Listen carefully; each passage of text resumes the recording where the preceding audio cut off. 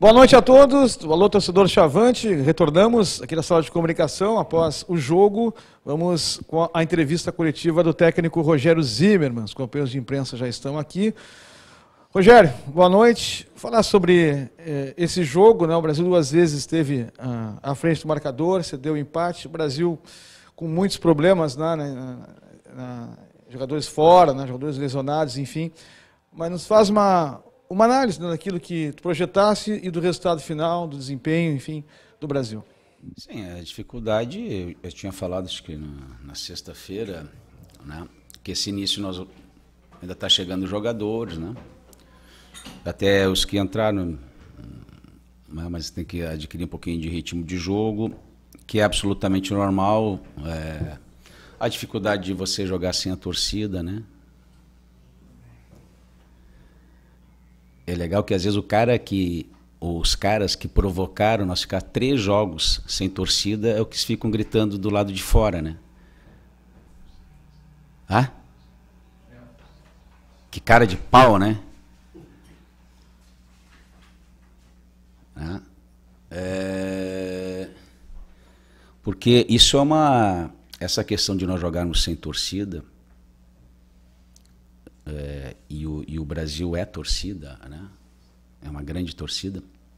Isso é um desrespeito ao nosso torcedor. Né? Quando alguém invade o campo, alguém invade o campo né, da arquibancada, e isso faz com que o sócio que paga, aquele cara que faz sacrifício, não possa assistir o jogo, isso é um desrespeito ao torcedor. Né? Nós, temos que, nós tínhamos que colocar esses caras que fizeram isso dentro do campo e nós ali na arquibancada dizendo vergonha, vergonha. É um desrespeito ao torcedor. Eu posso falar. Não tenho preocupado que o cara vai pensar. Eu sei um desrespeito ao nosso torcedor. Um desrespeito ao nosso torcedor. Toda vez que você tem uma atitude é, que prejudica o, o, clube, é um desrespeito ao nosso torcedor. Nosso torcedor que paga, que se sacrifica, o sócio, o cara que gostaria um baita domingo, no domingo desse, um sol. Né? E aí nós estamos aí com dois, um, dois, três jogos sem torcedor. Pô, isso é mais uma dificuldade. Não, não, não foi esse grupo que criou isso. Não foi esse grupo de atletas que criou isso. Esse grupo de atletas foi formado quando o Brasil estava sem credibilidade, ninguém queria vir. Né?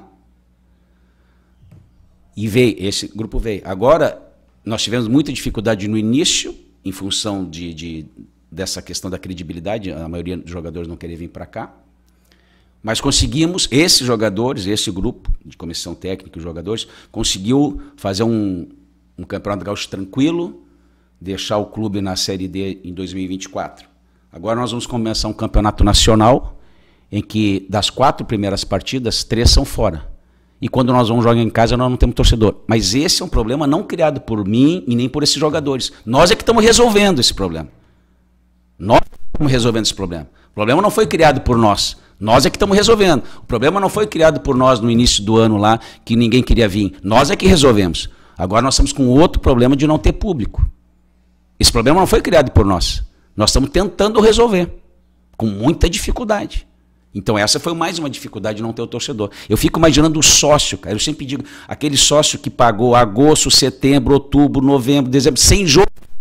Sem jogo sem jogo. E, e continua pagando e não pode assistir um jogo desse. Então nós temos que repensar. Nós temos que repensar algumas coisas. Temos, comigo não tem esse papinho aqui, ah, não, não, não, não, não, não. Aqui falou, vai ouvir também. Eu tenho respeito ao torcedor. E muito.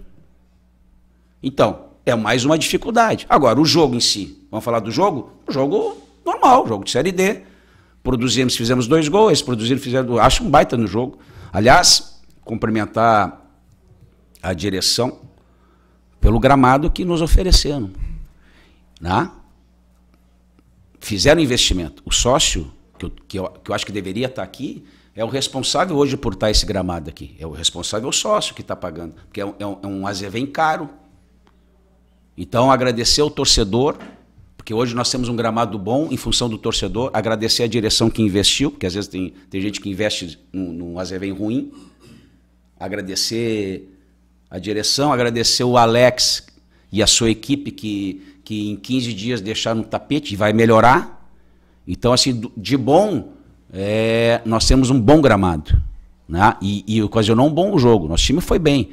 Nós não fomos bem lá em Concórdia. Hoje foi bem. Empatar é do jogo. Só que falta também Barcelona. Nós vamos jogar, vamos empatar, vamos perder, vamos ganhar. Isso é do jogo. Acho até que o time produziu bem. Né? Gostei do, do, do, do, do, do Tony ali. Acho que nós fizemos uma boa contratação. Gostei do, do Beleia ali de meia. Né? É, eu acho que nós tivemos muita coisa boa, muita coisa boa. Só que com o tempo, é o que eu disse, nós não, nós não criamos esse problema. Nós viemos para cá para resolver. Estamos resolvendo um monte de problema e vamos resolver esse também. Só que tudo tem o seu tempo, né? O jogador tem que vir, tem que chegar. Hoje praticamente estreou o Gutierrez, estreou o Tony, estreou o Branquinho. Não nas melhores condições, obviamente. Mas isso tudo vai normalizar. Nós sabemos fazer isso, já fizemos e vamos, e vamos, e vamos fazer. Mas assim, sempre com respeito ao nosso torcedor. Rogério, até pegando essa questão dos desfalques, né? O Brasil teve bastante desfalques hoje, e aí jogou o Gutierrez, jogou o Tony, né? Jogou o Pernão é, de 10. Como é que foi também montar essa equipe? E aí, como é que tu está vendo essa avaliação desses estreantes? Como tu falou, o Tony foi muito bem mesmo. E aí, como é que tu está vendo essa avaliação? Também tem o Lailson chegando, né? O Branquinho que estreou. Como é que tá vendo essa situação também do Brasil reforçando seu elenco e dando aí essa continuidade na Série D? Não, na verdade, assim, eu, eu, eu, eu, procuro ver sempre as coisas boas, né? É bom ver o Bento Freitas com um bom gramado, né? Isso tem que ser o nosso parâmetro, né? Nós sempre ter bom gramado. A gente não pode ter pretensão de chegar longe e ter um gramado, né? Então, por isso que eu tenho que complementar todas as pessoas envolvidas em colocar um, um bom gramado. E ele vai melhorar. Hoje, em comparação ao time que vinha jogando, obviamente que você perde lá um Luiz Gustavo, já não, o Mário já, é, não, não, já vem jogando. Você perde um João, você perde um Amaral, você perde um Patrick.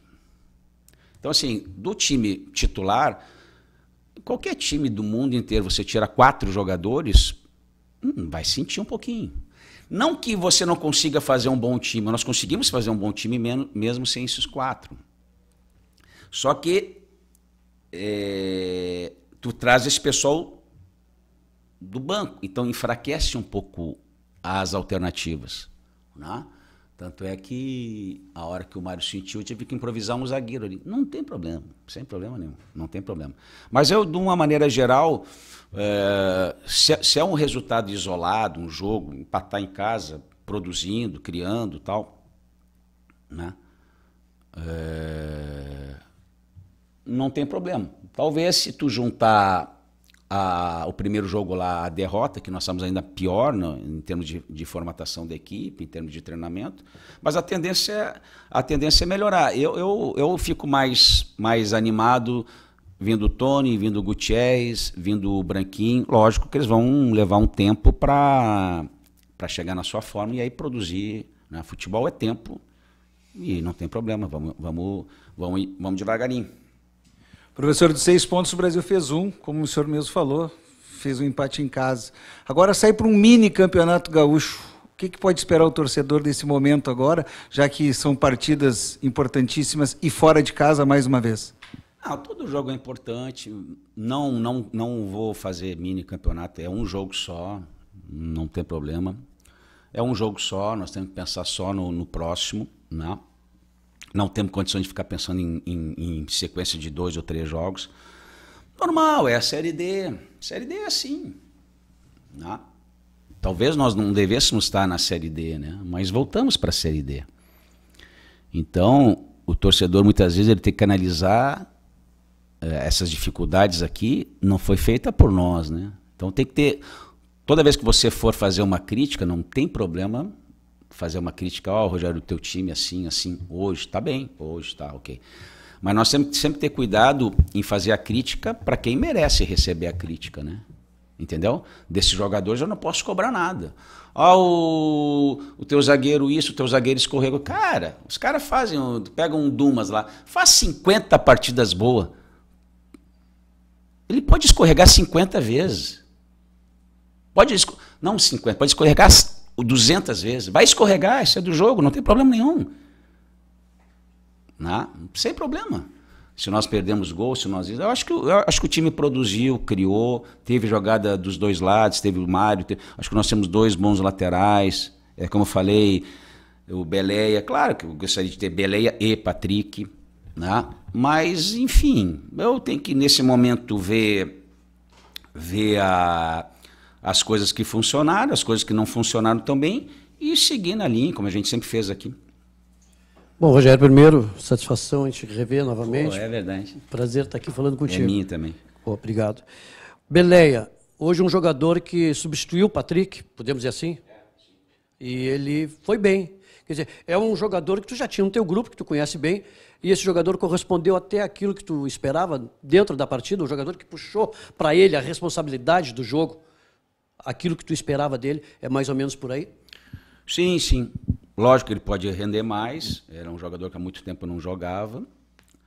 A renovação dele foi por esse sentido, porque nós temos que entender que ele, ele não jogou tanto até agora, porque a documentação dele não chegava, ele estava, acho que já na primeira, segunda partida treinando do galchão e não chegava a documentação, por ser do exterior, blá, blá, blá.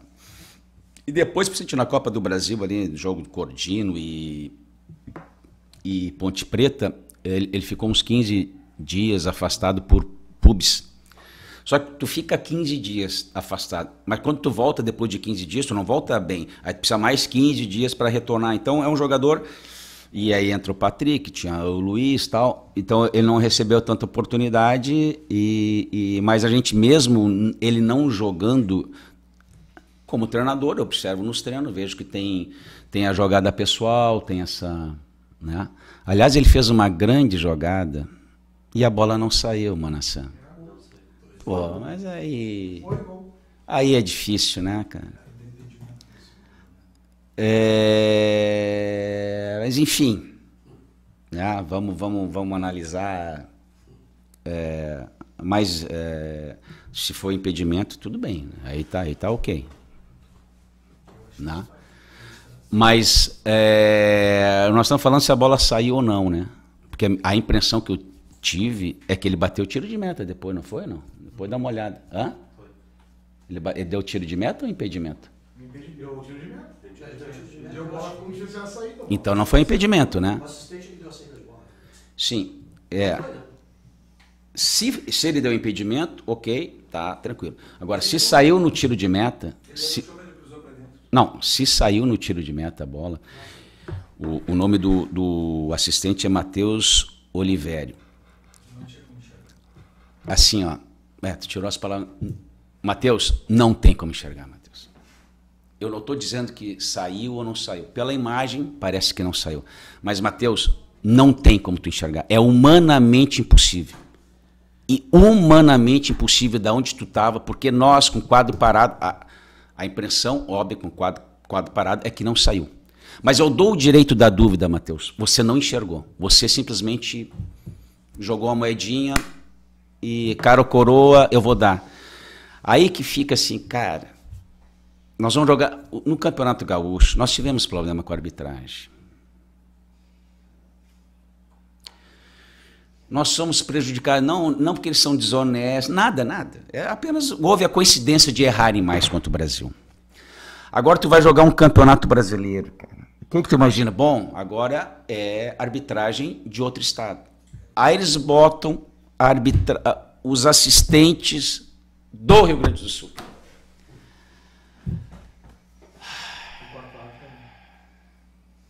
Aí num lance que é humanamente impossível, não é culpa dele, é humanamente impossível ver se a bola saiu ou não. Por que, que ele deu a saída? Porque não existe na, na, na regra. Na dúvida, pró-defesa, isso é na. Você só levanta a bandeira se você tiver certeza que a bola saiu. É impossível. É impossível. Impossível. Eu não estou dizendo se a bola saiu ou não, tá bem? Não estou dizendo se a bola saiu. É impossível ele vê que a bola saiu. Imposs é humanamente impossível. Aí, cara, Eu me lembro um jogo na Série D no Beira Rio. Nós e Tombense. Que a bola não entrou, foi 2 a 2 E o juiz correu. Depois a gente viu que a bola não entrou. E também era um ar. No...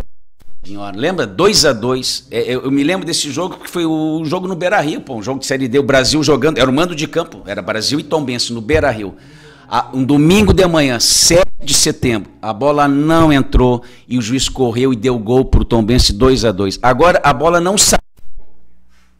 A bola não sai. Tu vai lá, dá no Wellington, o Wellington faz o gol. Não, não sei se estava 2 a 2 3 2 a 1 sei lá. Ah, nós ganharíamos o jogo. E aí o meu jogador tem que escutar alguma coisa do lado de fora lá porque não ganhou o jogo. Então assim, Matheus, não tem. Tu simplesmente adivinhou. Tipo assim, eu vou levantar a bandeira e depois eu vou torcer, não tem VAR, né? Vou torcer que eu estava certo ou que eu estava errado. Então assim, com absoluta certeza tu não tinhas, não tinha convicção do lance. Tu simplesmente escolheu ou tiro de meta ou ah, é tu, intuição, né? Se for comprovado que a bola saiu mesmo assim, é impossível. É impossível tu ter visto. Agradecer, né, a nossa arbitragem. É, professor, pegando também essa questão do elenco, né? A gente sabe que o Brasil hoje tem um elenco muito curto. É, hoje foi comprovado, né? Mesmo falando das opções que tu tinha no banco. E aí tu, perde Márcio Jonathan, tu perde Amaral, né? Por lesão. Como é que tá? Eu esqueci, do Márcio, né? Eu falei quatro, tinha mais Isso. Márcio, né? É, como é que está também a, expectativa para o retorno desses atletas? Tu acredita que já possa contar com eles para o próximo jogo? Acredita já ter pelo menos o elenco praticamente completo no próximo jogo para ter uma, um bom desempenho, ao menos lá contra a equipe do Novo Hamburgo? É, deixa eu fazer uma correção. Eu falei Luiz Gustavo. Não, o Luiz Gustavo saiu. Eu não posso falar que nós estamos desfocados do Luiz Gustavo e do Licili, por exemplo. Não, saíram, ou do Jonathan. Tira esse, tá? É que eu falei quatro, na verdade é o, é o João, né? Que foi expulso, né? É o Amaral, é o Patrick, então, tu vê, são dois jogadores no meio de campo e o Márcio Jonas. Foram quatro jogadores. Então, você perde um dos goleadores. Né? Uh, embora, de novo, hoje o, o da Silva colaborou muito com o gol. Né? É um cara que vem melhorando. Mais uma vez, o pênalti foi, foi jogada dele. Os três últimos pênaltis, que três pênaltis cavados pelo, pelo da Silva, ele incomoda muito. Acho que a presença do Beleia vai ajudar ele. A presença de bom, dois bons cruzadores ali, Tony e. Bom, hoje eu improvisei ali o César. É, o Laílson foi contratado para lateral esquerda. Eu contratei o Laílson lá para o esportivo para lateral esquerda, porque eu tinha visto alguns jogos. Só que chegou lá no esportivo, nós também contratamos o Renan. E o Renan estava bem.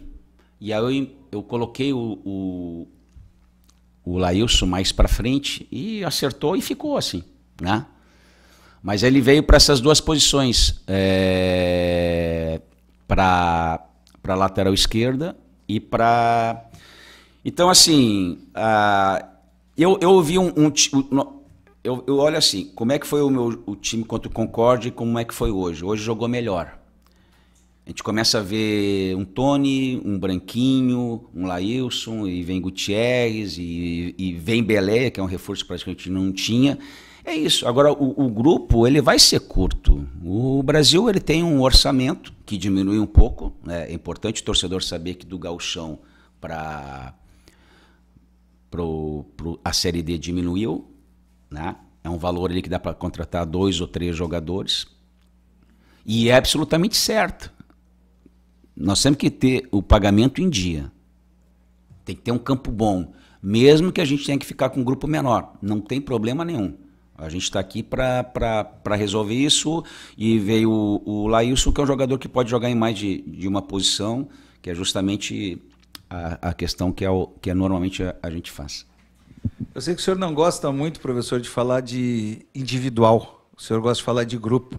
Mas esse rapaz, o da Silva, pode não fazer gol. Agora, a contribuição para a equipe é fenomenal, né? E a força de vontade dele. Gostaria que o senhor falasse, principalmente porque não vem marcando, o torcedor cobra que o Brasil não tem centroavante, mas e, a situação do da Silva, ele contribui e é muito voluntarioso. É, é que assim, ó, é, primeiro eu respeito qualquer opinião. E, e evidentemente que se ele se ele fizer o que ele está fazendo, cavando, nós, tivemos um, um, pênalti lá contra o Concórdia, foi ele que cavou, agora de novo, ele vai fazer o gol, o cara derruba. Obviamente que se ele precisa ainda fazer gol, óbvio, mas também e aí é uma questão financeira, talvez nós deveríamos ter um outro jogador também, até porque o Daci uma hora cansa, uma hora não vai jogar, uma hora vai levar o terceiro amarelo, uma hora vai estar machucado, uma hora ele ali puxou a perna, que estava extremamente cansado, o, a falta de um outro jogador, mas se não dá para contratar por isso, por aquilo, por aquilo, nós vamos dar um jeito. Uma hora vai jogar o Belé ali, uma hora vamos jogar com, com o Márcio Jonathan, nós vamos dar um jeito. O, a, a, o importante é você ter o salário em dia e a gente tem uma dificuldadezinha. A gente tenta colaborar com, com a direção para que isso.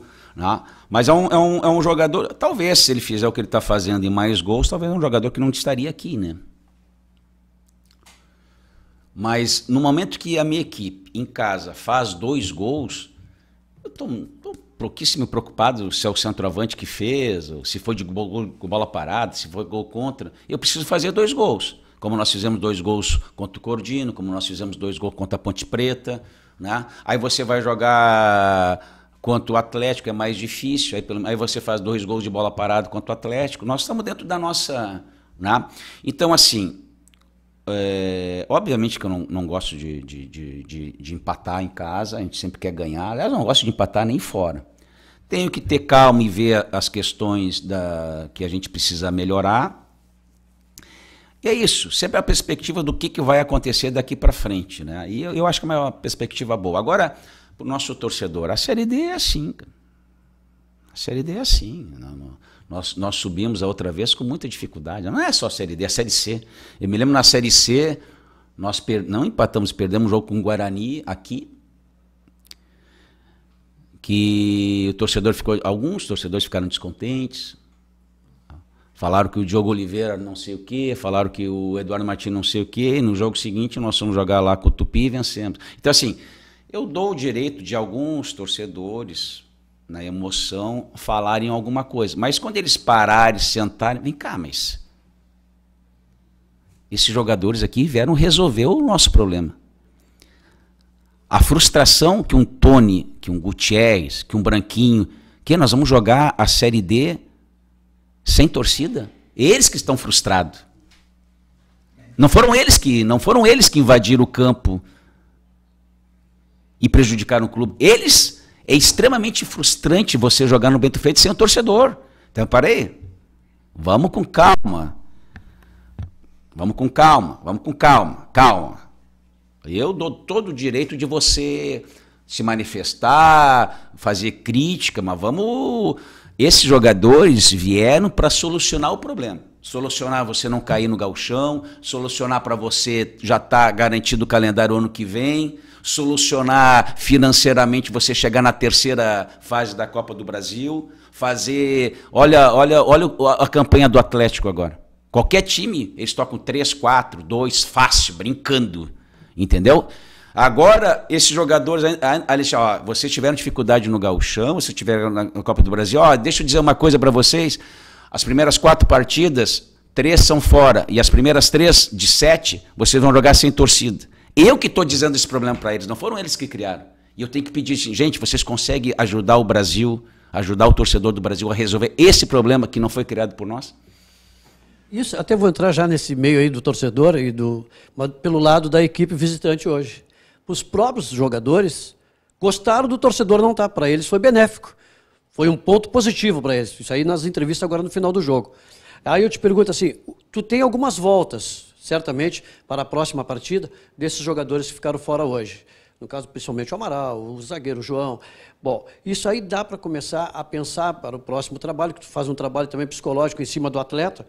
E já tens uma projeção de pontos para a classificação? Não, não faço, não faço, não faço. Não faço. Porque a, a projeção, de uma maneira geral, ela, ela tu, tu, teria que combinar com. Se eu fosse fazer uma projeção antes do jogo, quantos pontos eu, eu colocaria na minha projeção hoje? Né? Mas tu tem que combinar com o adversário, não é isso? Nós vamos jogar fora de casa agora. O Novo Hamburgo vai projetar para ele três pontos. Então não, não tem como.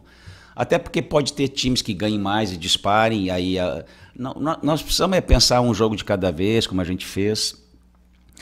Obviamente, um branquinho, eh, Tony, também não é uma semana que, bom, agora estão no máximo. Isso vai levar um certo de tempo. Sempre leva tempo para você criar uma equipe. É, e, e, foi assim no gauchão também. No, no início do gauchão, nós estávamos com muito jogador chegando tal. É que a gente largou melhor no gauchão. É que eu quero, é, essa evolução da equipe, eu gostaria que fosse com uma pontuação melhor. Porque você sofre menos. A construção ela vai ter que acontecer de qualquer maneira, né? Ela vai ter que acontecer. Eu gostaria de estar com uma pontuação melhor. Mas, cara, é futebol. Quando nós fomos jogar com o Atlético Mineiro, alguém perguntou para mim assim, Rogério, o Atlético Mineiro está em má fase, como é que é bom o Atlético Mineiro está em má fase. Aí eu te disse, não, calma. Então o Atlético Mineiro estava em má fase, porque eu cudei, porque aquela coisa. Agora estão entre os quatro lá do brasileiro. Agora, quem é que tá, não está num momento bom? O Inter, que foi vice-campeão. Cara, gente, o futebol é assim. Eu, eu, eu, acho engraçado que o futebol ele é né, uma. Tu vai, vai no auge lá no, no, no no, na Copa do Brasil, depois sai jogador, você recomeça um trabalho. Durante o ano você tem oscilações. E quando você, e quando você dá uma oscilada, as pessoas ficam, oh meu Deus, o que está acontecendo? Cara, é, sabe o que está acontecendo? Futebol. Agora, o Atlético está bem. O Inter não está bem. Daqui a pouco o Inter começa a ganhar. É tão simples entender o futebol, né? Mas enfim.